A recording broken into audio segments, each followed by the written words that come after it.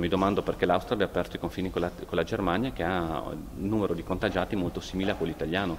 Eh, o, o, uno o l'altro, o vuole legittimamente tenere chiuso tutto perché dice non voglio avere rapporti con altri paesi dove i contagi eh, sono numerosi, oppure eh, apre con tutto, non è che decide arbitrariamente a dispetto di qualsiasi dato oggettivo con chi aprire o con chi chiudere, perché altrimenti benissimo faccia pure questa scelta, ma a quel punto noi faremo le nostre. Il presidente della regione Massimiliano Fedriga non rinfocola né smorza la polemica innescata dalle decisioni di Vienna in merito alla riapertura delle frontiere con il nostro paese. Ora, sottolinea Fedriga, il pallino è nelle mani del governo che a suo dire deve adoperarsi non solo con l'Austria ma anche con altri paesi europei. Mi auguro che eh, il nostro Paese eh, utilizzi tutte le eh, armi che ha a disposizione affinché si torni a una normalizzazione della mobilità all'interno dell'Unione Europea. Non è accettabile che qualche Paese utilizzi la scusa della pandemia in realtà per creare un dumping, quindi una concorrenza sleale dal punto di vista del comparto turistico, perché evidentemente abbiamo Paesi che hanno situazioni pandemiche molto simili e non è giustificabile dal punto di vista sanitario decidere di aprire con un Paese e non con un altro. È chiaro che lo,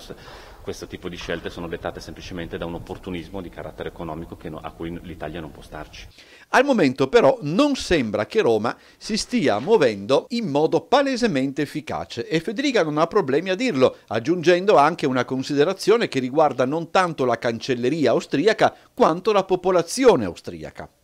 Ma io sto interloquendo col governo, devo dire che risposte concrete in questo momento non ce le ho. Eh, mm, sono convinto però che ci metterà tutto l'impegno possibile per farmi avere nel più breve tempo possibile delle risposte concrete, perché oltretutto noi